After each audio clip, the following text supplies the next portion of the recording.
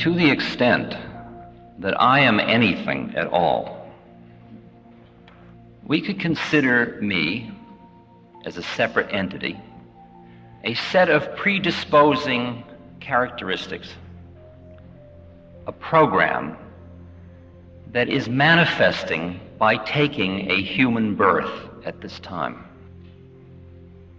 I have taken a birth into a body, and that body has with it a personality.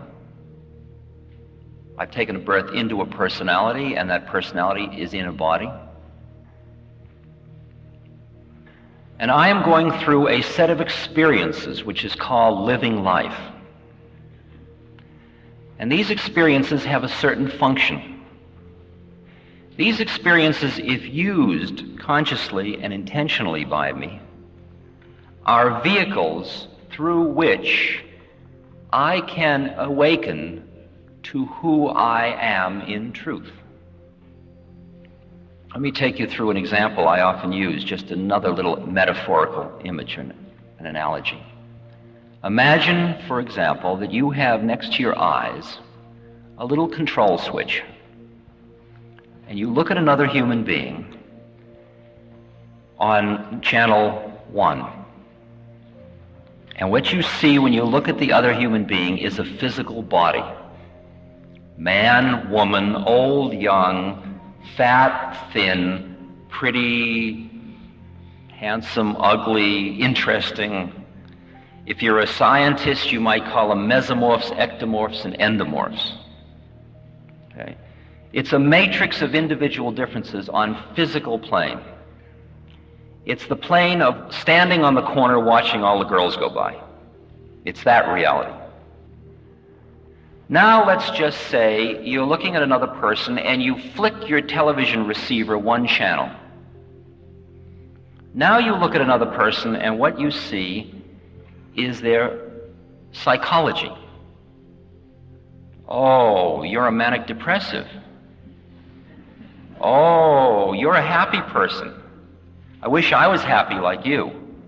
People in psychotherapy uh, live on this channel usually. They're totally preoccupied with their own depressions, elations, fears, anxieties, loneliness, hopes, etc. And that's reality. That's the real you. And the physical body is merely the carrier of that. Well, let's flip it again. Flip it again, and you look at another person, and if you are so trained to be able to see on this channel, you would say, Oh, I know who you are. You're a Libra. I can tell because of the. You're a Sagittarius. On this channel, on channel 3, there's only 12 beings in the universe and various permutations of them.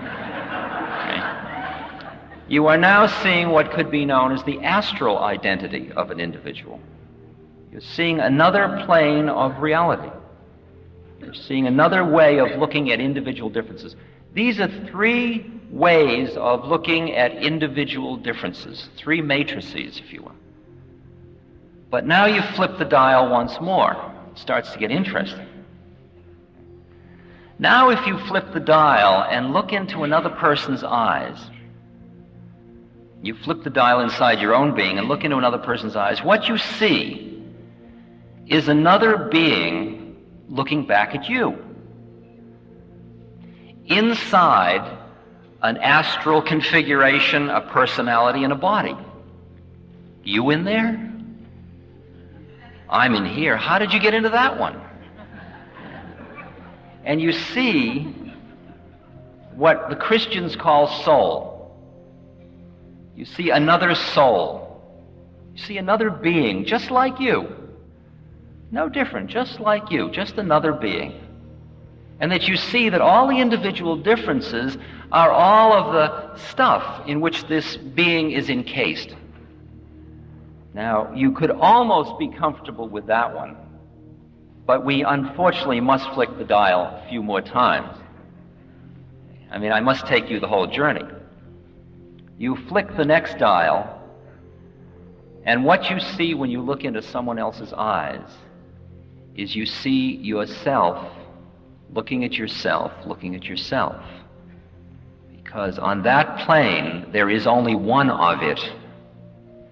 It is one awareness that is in a multiplicity of forms. And finally, if you will allow me to flick the dial just once more, if you haven't given up completely yet, you flip the dial once more, and you disappear, and I disappear, and the dial disappears. And we're dealing with what the Buddhists call void, or in the New Testament, before the Word.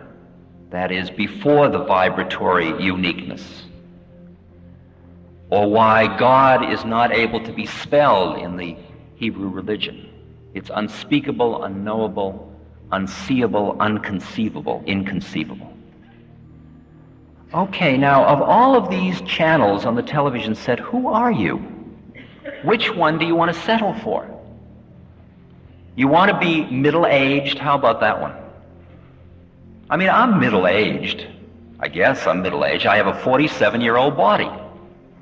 It's like I have also a 1974 Dodge van. But you say to me, Who are you? And I don't say I'm a Dodge van. Why do I choose to identify with this? Well, if I don't pick body, should I pick personality? I'm somebody on the path. That's a good one to be. I'm a curious person. I'm curious about the future. That's a good one. I'm a responsible person. Well, I'm kind of wild. I'm lazy. I'm working on myself. These are all different psychological takes of who one is. Each plane, each turn of the dial has a different statement of your identity, and each one is getting into a more and more profound place.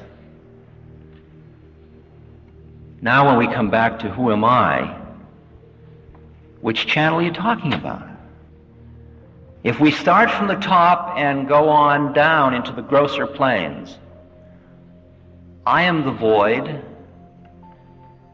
who manifests as the one, who becomes the many, who has a unique set of factors to work out through a unique astral, psychological, and physical body. That's what I'm doing on earth. I have taken a body to do certain work.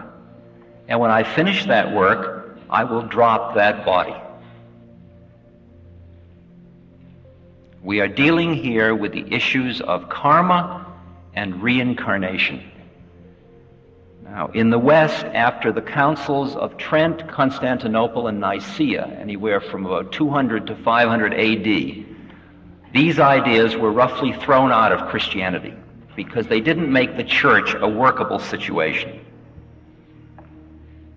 Because when you had reincarnation and karma, every human being became their own priest. Because it was between you and God.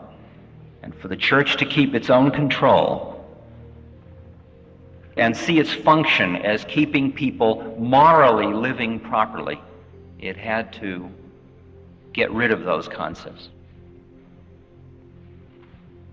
Have I taken birth before? I have no experiential knowledge of that.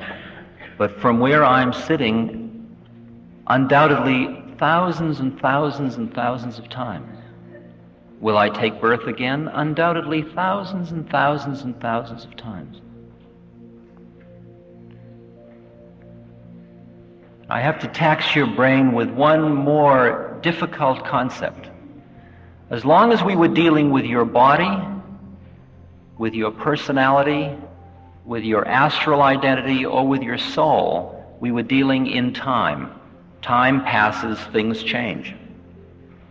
The minute we got up into the higher plane than that, in the one, there is no time anymore.